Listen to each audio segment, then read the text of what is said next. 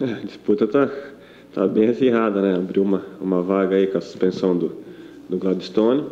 Então agora temos que treinar firme, né? fazer o nosso melhor aqui e deixar por conta do, do professor decidir essa, essa vaga aí. Mas todos estão preparados, o elenco inteiro está tá bem preparado, então o que o professor escolher vai ser a melhor opção. Vinícius, é, meu nome é Nayara. Qual é a expectativa para o jogo de domingo? A expectativa é, a melhor, né? Temos um jogo em casa, confronto direto pela pela classificação, então temos que, que, entrar firme, que foi o único jogo que nós perdemos na, na Série C esse ano, então é, é um jogo muito difícil, sabemos o potencial da, da equipe do, do Volta Redonda, então temos que, que treinar bem, se preparar bem para esse confronto, que não vai ser fácil não. Então a expectativa é, é treinar bem essa semana, de semana aqui para domingo conseguir um resultado positivo. Vinícius, boa tarde. É, a gente que acompanha o treino sabe que é você que vai para o jogo. É, é, você não estreou ainda, né, oficialmente, com a camisa do Botafogo. E você vai estrear na seguinte circunstância: vai enfrentar o único time que venceu o Botafogo no campeonato até agora, vai entrar em campo com zero gols sofridos durante todo o campeonato aqui no estado de Santa Cruz e ainda vai entrar em campo para substituir o Gladstone. É muita responsabilidade? Pensando por esse lado, aumenta um pouco, né? Mas sei da, da minha capacidade, sei não estou aqui à toa, já fiz uma história um pouco no, no futebol, então estou me preparando bem. Não sei se vai ser eu ou quem que vai, vai entrar jogando, mas estamos preparados, sabe que é, que é difícil, vem com uma campanha muito boa dentro de casa aqui, sem levar gols, mas temos o, a total condições de, de continuar zerado aqui em casa. Então temos que trabalhar bem, como eu não sei, né, o professor que vai decidir final de semana quem que vai escalar, mas está todos preparados para essa oportunidade.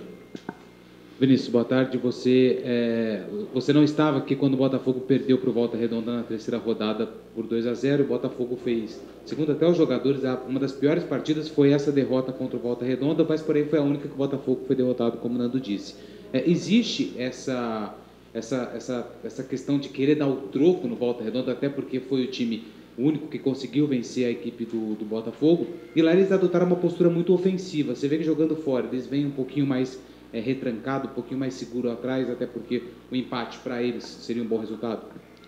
Então, realmente, sobre isso, se vai. Eles ganham a gente, não. A gente vai fazer o nosso, nosso papel aqui dentro de casa. Como fosse Volta Redonda, Joinville, qual que for nosso, o nosso objetivo em casa é ganhar. É só vitória aqui em casa e fora a gente busca um empate, no mínimo um empate, né? Mas dentro de casa, qualquer clube, qualquer time que vem aqui, nossa prioridade é, é vencer. Não tem como. Não, não é revanche, não é nada. Apesar que fiquei sabendo lá que foi um jogo muito difícil lá, muito duro, foi uma guerra lá.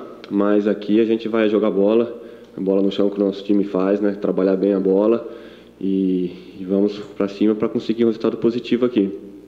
E qual é a outra mesmo pergunta? Ah, do, em relação ao time deles, né? É, geralmente é todos os clubes que estão fazendo isso, né? Dentro de casa tem que sair para jogo para buscar o resultado e fora de casa o mínimo não empate, né? Porque nesse, você vê nesses jogos aí, a maioria dos, das rodadas sendo tudo empate. Então você está muito, tá muito igual. Então, um ponto conquistado aqui já ajuda bastante eles, os times que jogam fora.